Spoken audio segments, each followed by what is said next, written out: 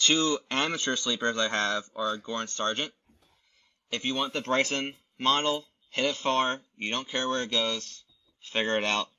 So he he played well at the U.S. Open and was Mhm. pretty famously for the ball should have went in, but it went out because like the Mhm. cup was Yep. kind of screwed up. But Mhm. easy course for him. You know, he's played like the two majors as we said, so I can I, I think he can finish in the top twenty. I think I think he'll also be popular if he played like the DraftKings or like certain pools uh, if you have. But then the other one is Ludvig Åberg, if I pronounce that right.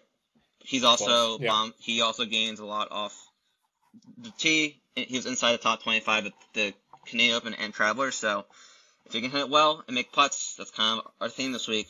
I think he can kind of make a, a run. I think he's interesting too because he's a Ryder Cupper too. He could potentially make it. So those are kind of four sleepers. Two are the future of golf. So